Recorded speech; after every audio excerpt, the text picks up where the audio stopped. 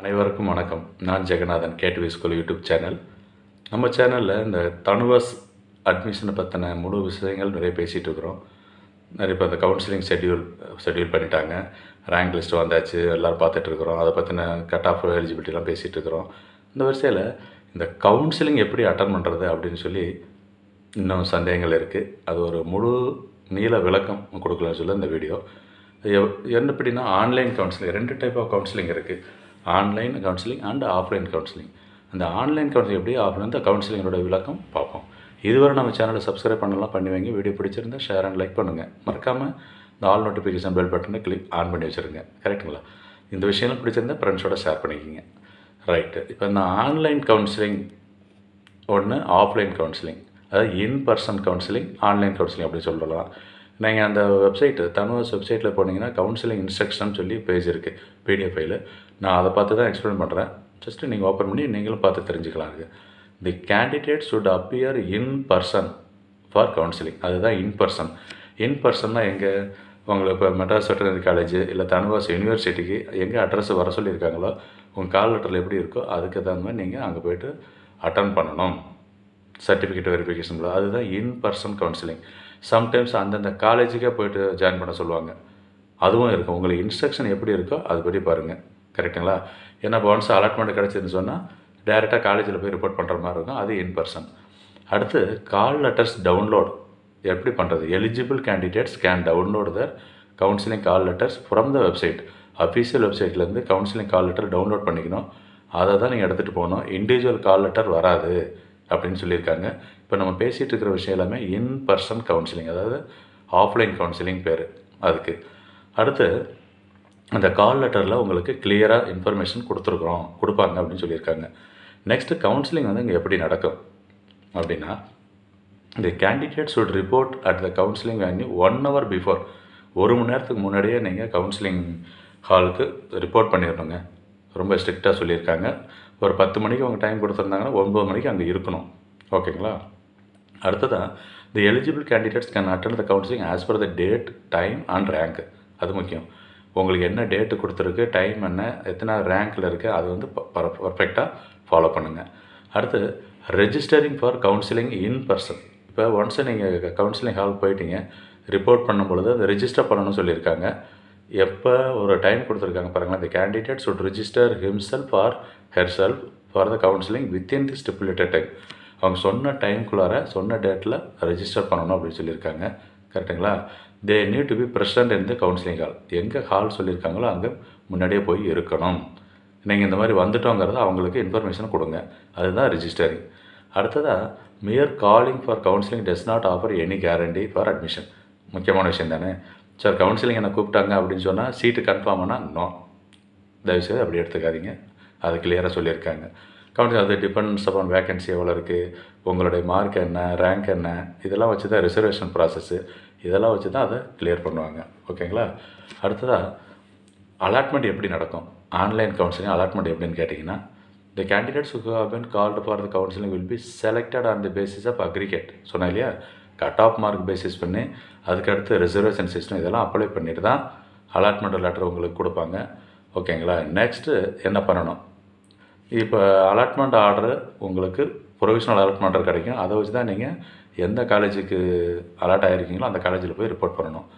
Suppose வேறு காலேஜில் நீங்கள் சேர்ந்துருக்கிறீங்க. இது ஒரு முக்கியமான கேள்வி எல்லோரும் கேட்டிருக்கிறது. சார் இப்போ ஒரு ஆர்ட்ஸ் காலேஜ் இன்ஜினியரிங்கில் படிச்சுட்டு இருக்கிறேன் ஆர்ட்ஸ் படிச்சுட்டு இருக்கிறேன் சர்டிஃபிகேட்லாம் அங்கே கொடுத்துட்டேன் ஒரிஜினல் அப்போ என்ன பண்ணுறது அப்படின்னு கேட்குறீங்க. அவங்களுக்கெல்லாம் இந்த போனபைட் சர்டிஃபிகேட் அந்த இன்ஸ்டியூட்டில் வாங்கிக்கிங்க. இந்த கவுன்சிலிங்கே ஜாயின் பண்ணுங்கள் once seat allotment final join கிடச்சிதுன்னு சொன்னால் நீங்கள் அங்கேருந்து நீங்கள் வித்ட்ரா பண்ணிக்கலாம். ஒரிஜினலும் வாங்கிட்டு வந்து கொடுங்க. இதுதான் முக்கியமானது இருக்குது கரெக்டாக உடனே அங்கே போய்ட்டு வந்து ட்ரான்ஸ்ஃபர் சர்டிஃபிகேட்டோ கான்டாக்ட் சர்டிஃபிகேட்லாம் உடனே வாங்கணும்னு அவசியம் இல்லை.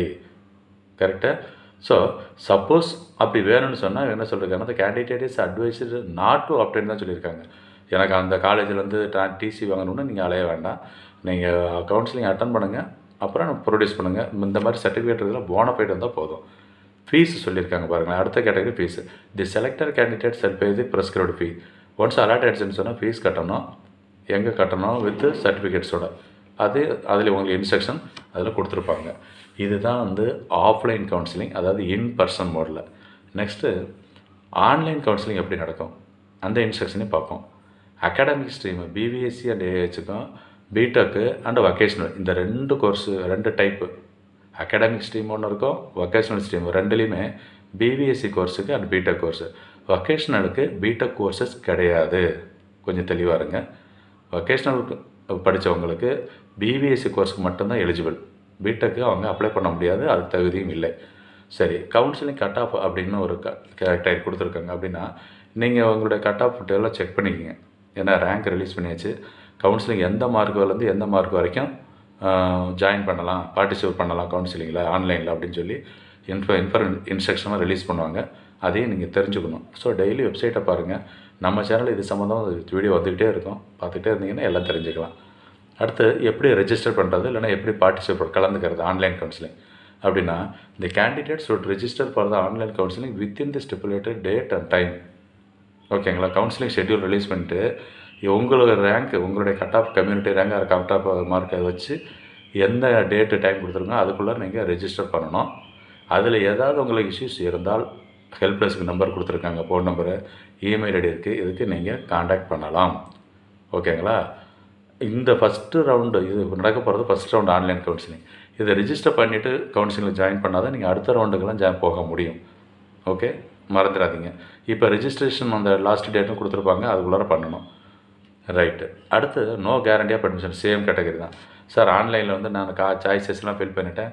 என்னோடய பேர் இதில் வந்துருச்சு லிஸ்ட்டில் அப்போ என்னை கவுன்சிலில் கூப்பிட்ருக்காங்க சீட்டு கன்ஃபார்ம்டு அப்படின்னு கேட்டால் நோ அது மாதிரி கிடையாது அப்படின்னு சொல்லியிருக்காங்க. அதையும் பார்த்துக்குங்க. அடுத்ததாக எப்படி ப்ரிஃபரன்சஸ் ஃபில் பண்ணுறது ரொம்ப முக்கியம் இல்லையா? ஆன்லைன் கவுன்சிலிங்கில் சேம் முன்னாடி எப்படி எக்ஸ்பிளைன் பண்ணணும் அதுதான். கேம்பஸ் ப்ரிஃபரன்ஸ் ஒன்று இருக்குது கோர்ஸ் ப்ரிஃபரன்ஸு கேம்பஸ்னால் பிவிஎஸ்சி அண்ட் ஏஹெச் அந்த கோர்ஸ் தான்.